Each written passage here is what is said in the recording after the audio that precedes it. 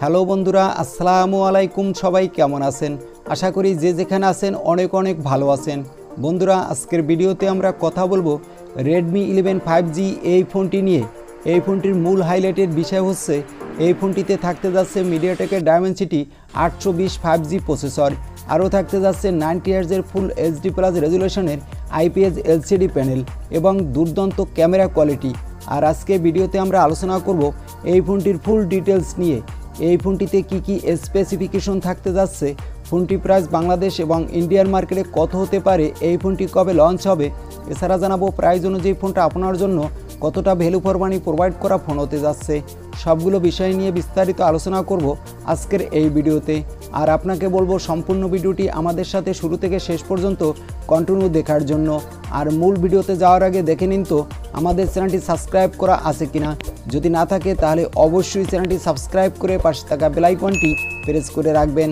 চলুন তাহলে শুরু করা যাক আজকের ভিডিও সবার প্রথমেই আমরা আলোচনা করব এই ফোনটির লুক ও বিল্ড কোয়ালিটি নিয়ে। ব্যাক সাইডে এই ফোনটিতে থাকতে যাচ্ছে কোয়াড ক্যামেরা সেট এবং সামনে থাকতে যাচ্ছে single punch hole cutting display আর ব্যাক সাইডে এই ফোনটিতে ব্যবহার করা হতে যাচ্ছে পলি কার্বনেটের বডি ডিসপ্লেতে দেওয়া হতে যাচ্ছে গরিলা গ্লাস থ্রি এর প্রোটেকশন সিকিউরিটির জন্য এই ফোনটিতে থাকতে যাচ্ছে সাইড মাউন্টেন ফিঙ্গারপ্রিন্ট সেন্সর দেওয়া হতে যাচ্ছে ইউএসবি টাইপ সি পোর্ট এবং থ্রি পয়েন্ট ফাইভ মিলিমিটারের অডিও জ্যাক মার্কেটে ফোনটি পাওয়া যাবে চারটি কালার ভেরিয়েন্টে আর এই ফোনটির লুক ও বিল্ড কোয়ালিটি আমার কাছে মনে হয়েছে ভালোই হতে যাচ্ছে।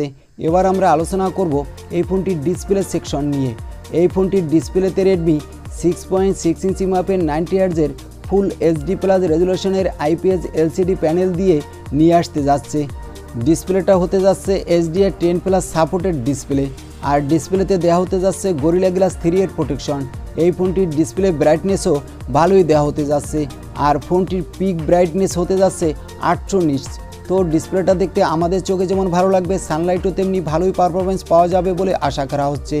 আর ফোনটির ডিসপ্লে কোয়ালিটিও আমার কাছে মনে হয়েছে ভালোই হতে যাচ্ছে। এখানে নাইনটি ইয়ার্সের ফুল এইচডি প্লাস রেজুলেশনের আইপিএস এলসিডি ডিসপ্লে দিয়ে নিয়ে আসার ফলে ডিসপ্লে তো আপনি অনেক ভালো স্মুথ পারফরমেন্স পেয়ে যাবেন।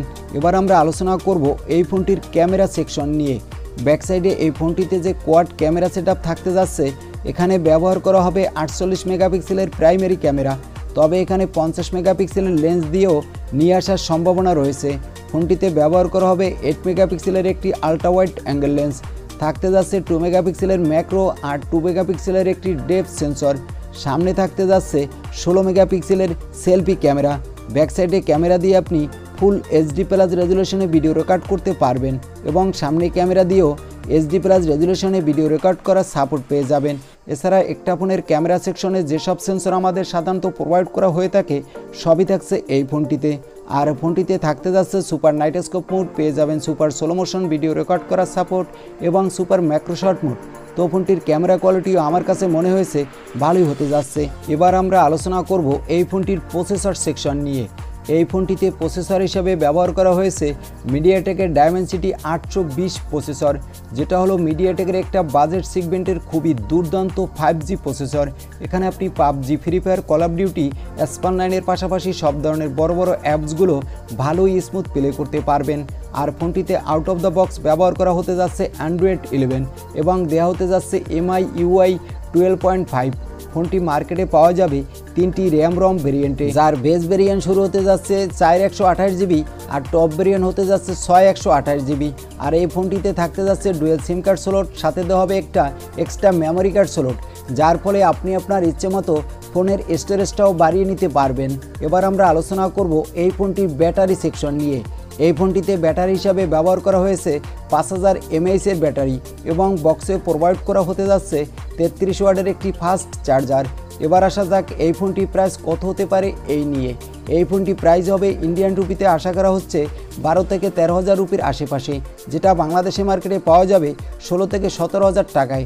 তো এই বাজেটে এই ফোনটি আমার কাছে মনে হয়েছে ভালোই হতে যাচ্ছে। আর এই ফোনটি দু হাজার বাইশ সালে প্রথম দিকেই রেডমি আমাদের মাঝে নিয়ে আসতে যাচ্ছে। এই ছিল আজকের ভিডিও। ভিডিওটি কেমন লাগল তা অবশ্যই কমেন্ট করে জানাতে ভুলবেন না। আর ভিডিও ভালো লাগলে একটি লাইক করে দিবেন এবং আমাদের চ্যানেলে নতুন হলে সাবস্ক্রাইব করে পাশে থাকা বেলাইকনটি প্রেস করে রাখবেন। আজকের মতো আল্লাহ হাফেজ।